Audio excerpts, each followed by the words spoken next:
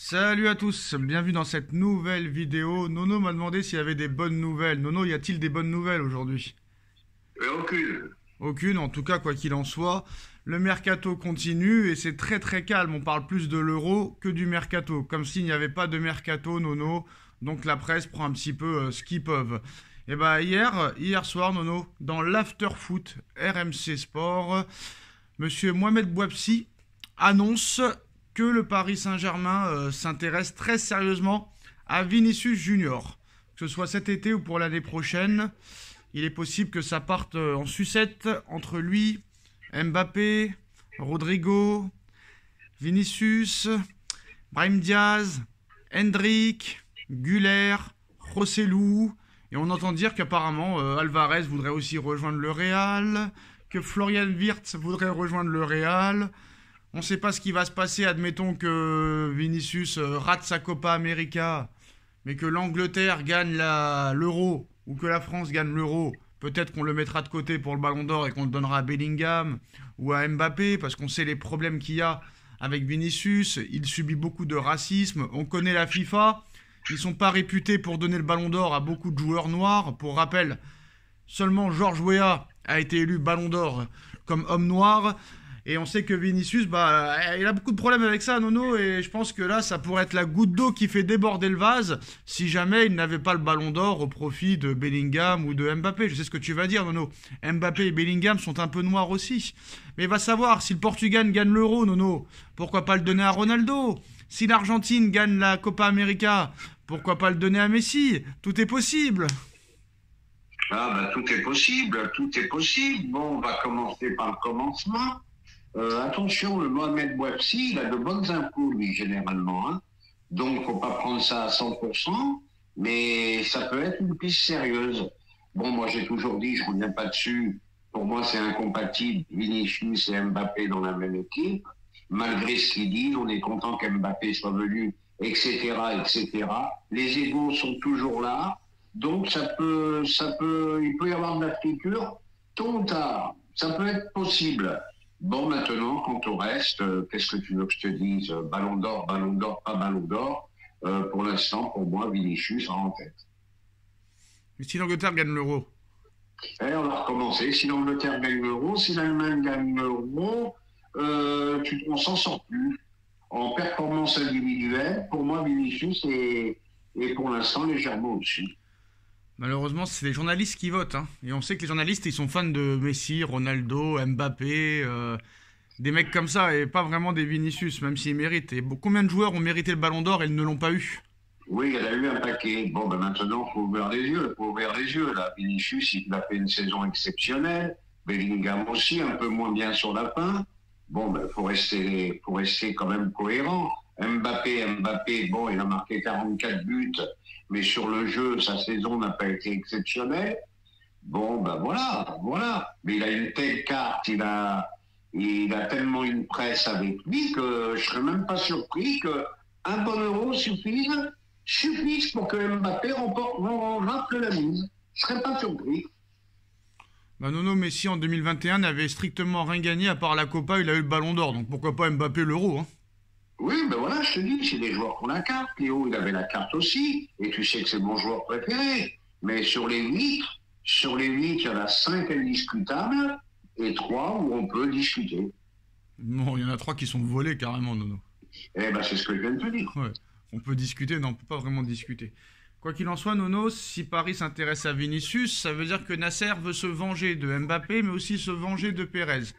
Parce que je pense, Nono, que quoi qu'il en soit, même moi je le digère pas, alors que c'est pas mon oseille. Mais laisser partir un joueur de 25 ans, qui est soi-disant le meilleur joueur du monde, à 0 euros, comment tu peux très clairement l'avaler et le digérer, Nono? Donc ta seule solution, c'est quoi? Bon, d'accord, t'as as, beaucoup d'argent. Ta seule solution, c'est de prendre un joueur du Real Madrid, Rodrigo ou Vinicius. Donc le lundi, c'est Rodrigo, le mardi, c'est Vinicius, le mercredi, c'est Rodrigo, le jeudi, c'est Vinicius. Là, c'est autour de Vinicius. Euh, moi, honnêtement, Nono, si ça doit se faire, j'y crois plus pour l'été prochain que pour euh, cet été. Mais si jamais Paris fait une offre, Pérez, on a vu que Pérez, il retient personne si tu mets l'oseille. Combien faudrait, faudrait mettre pour avoir Vinicius? Alors, combien faudrait mettre? Déjà, je veux dire, pour envoyer 250 plaques. Hein je t'annonce. Pour battre le record de Neymar, 225 millions. Là, vous montez à 250. Bon, ben, le seul problème, et un gros problème, c'est que c'est deux joueurs très, très jeunes. N'oublions pas que Vinicius a 23 ans et que Rodrigo, je ne sais même pas s'il a les 23. Donc, euh, c'est des joueurs très jeunes. Moi, je te dis franchement, c'est un souhait, mais j'y crois pas beaucoup. Trop tôt. Oui, mais Nono, Neymar, vous y croyez pas. Mbappé, vous n'y croyez pas. Messi, vous n'y croyez pas. Zlatan, vous n'y croyez pas. Ramos, vous n'y croyez pas. Et à l'arrivée, ils sont tous arrivés, ces mecs-là. Et avant qu'ils arrivent, mais jamais on verra Neymar au Roudourou. Jamais on verra Zlatan à la route de Lorient. jamais on verra Messi jouer à Clermont. Et pourtant, ça s'est passé, Nono. Eh oui, bah, n'oublions pas que Zlatan avait venu à Paris, il avait déjà 31 ans. Bon, Neymar, il y avait une clause libératoire. Le PSG, pour une fois, a été très efficace. Et eh ben, ils l'ont payé, 225 millions. Maintenant, la clause libératoire de Vinicius, je crois qu'elle est à un milliard. Donc, ça ne sera jamais à ce prix-là. Donc, c'est quand même plus compliqué, Sacha. Hein. oui, mais tous les joueurs que les gens disaient que c'était impossible qu'ils viennent à Paris et en Ligue 1 sont quand même venus. Ah, mais avec le PSG, avec les Qataris, tout est possible. Ils peuvent faire une offre à 250, 300 millions. Il n'y a pas de limite pour eux. Bon, ben après, il y a tous les, inconvénients du reste, hein, comme je t'ai dit, euh, l'âge, euh, euh, l'indemnité de départ, le machin, le truc. ouais, c'est quand même plus compliqué, je trouve.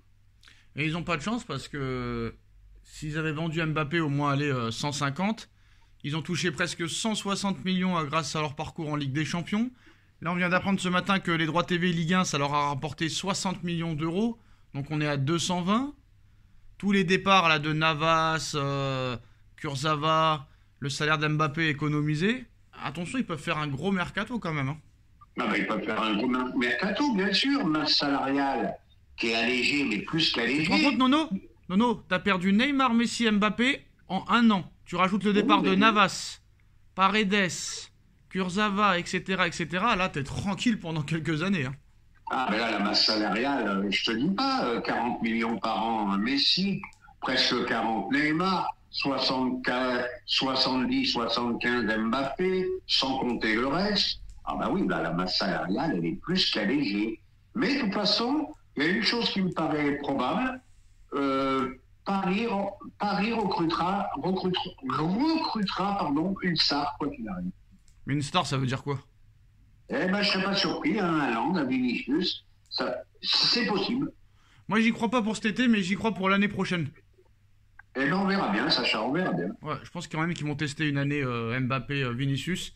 Et si ça se passe mal euh, et que Vinicius fait de gros matchs, mais qu'à l'arrivée c'est Mbappé qui a la gloire, il va être énervé. Vinicius, il va vouloir partir à 24 ans, c'est le meilleur moment pour lui.